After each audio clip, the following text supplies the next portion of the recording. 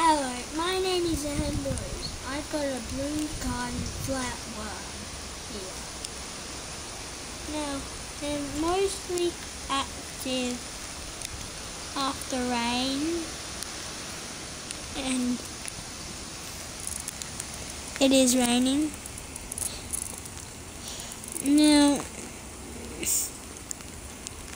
they they make a slimy trail like slugs and snails. It looks like a um, leech, but it is not a leech. They have been mistaken for a leech, and as you can see, there's a little hole there. That is its only orifice. And by orifice, I mean that's the only um, hole which goes into its inside. Now, if someone is digging around and I accidentally cut it, the thing in half, it will not. There's a there's a good chance it will die, but if it if it doesn't, it will. Um, the the part which has been chopped off will turn into another worm and if it's been chopped in three turn into three worms. And that's pretty amazing huh?